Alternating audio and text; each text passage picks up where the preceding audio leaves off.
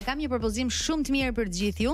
Nëse i doni këto pushime perfekte, smartphone-in e fundit apo gjithçka tjetër që jua bën jetën më të thjeshtë e më të bukur, zgjidhni Noa. Mund të keni gjithçka që ëndërroni duke aplikuar online dhe merrni financimin që ju duhet në vetëm 10 minuta. Noa është aty për çdo dëshirë tuajën. Me Noa. Noa. Ja. Gjiniol. Ë uh, do të pëlqente të hyje në Dancing with the Stars? Kaj të roqa Se nga ti bi Pa, pa, pa Pa, atje pa Atje dhe parnoja Mjaft me Big Brother Atje dhe Big Brother Nuk do fute qamë Kërcen bukur ti? Pa, po, pa, po, kjo është është një talent i imi që s'e kam treguar ndonjëherë, s'e kam shprehur ndonjëherë, po që E luaj mirë.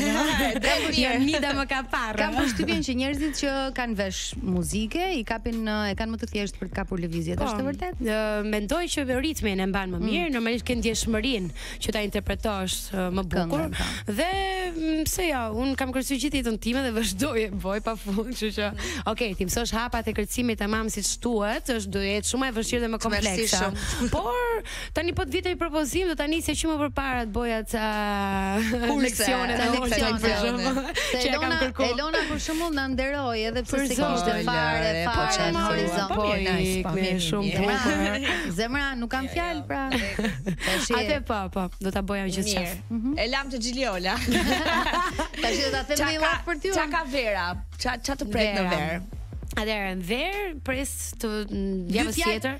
Dy fjalë të tjera nuk do kemi se e morëm vesh që ja. e ke rrugën e shtruar eh. deri në verë.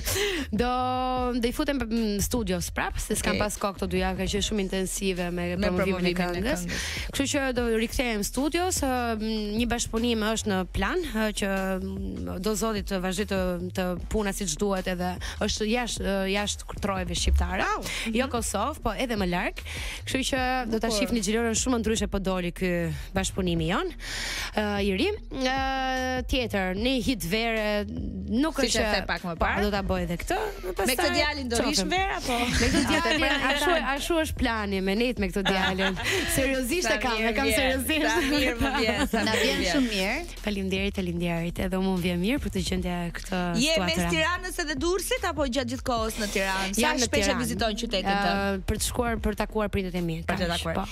Po. Edhe njëherë rikthehemi Big Brother, cilët janë finalistët e tu dhe pse?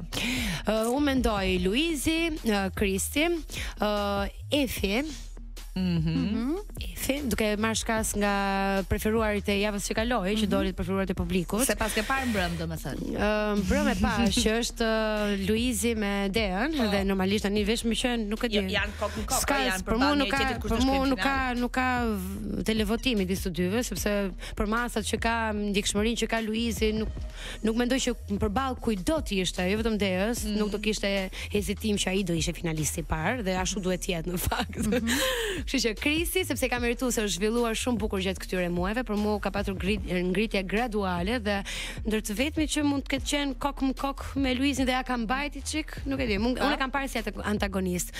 um, Kristin. I katërti, po tani Kosova për kë voton? Mendoj që voton për Nitën. Mm -hmm. po voton dhe Kosova për Luizin, nuk e di.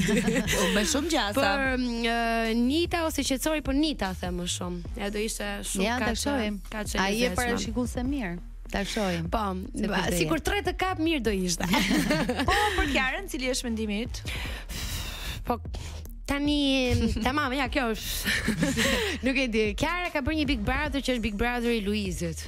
Okej. Okay. Uh, mendoj që ka ecur gjatë për Luizin dhe e kanë ngritur të gjithë uh, edhe strategji qoftë të vetën me Luizin. Kështu që Po të ishte në Big Brother VIP Albania, mendoj që do mhm. kishte një rrugtim më të gjatë, shumë më të gjatë dhe do ishte ndoshta një nga finalistët. Si e parashik, domethënë, si cilat janë ndjesitë për për për pjesëmarrjen tënde në Big Brother? A do kishte ndonjë gjë mes teje dhe Kristit për shembull.